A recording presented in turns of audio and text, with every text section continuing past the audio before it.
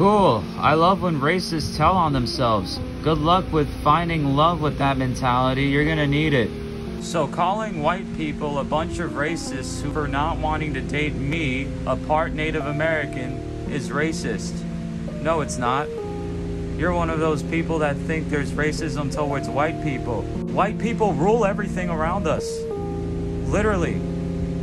You could literally get me arrested for criticizing you for being racist. I think we're living in a very awkward time where pointing out racism makes you racist. Does calling out racism mean you're racist? I'm starting to feel like the definition of racism is only when you offend white people for being racist. I guess the new definition of racism means respect white people's racism towards everyone else.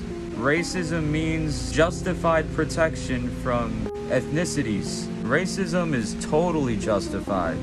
Totally. Racism protects you from criminals. You think one of them's a criminal? Then every one of them's a criminal. You know how stupid that sounds? I'm using your logic against you. Stupid. How does it feel to get discriminated against? Asshole. What are you gonna do? Send the Ku Klux Klan to kill me? Gringo, gringo, tú eres un pinche gringo. Gringo, gringo, gringo. Gringo, gringo, gringo. Gringo, gringo, gringo. Gringo racista. Llamando a usted un gringo no es racista. Gringo is not a racial slur.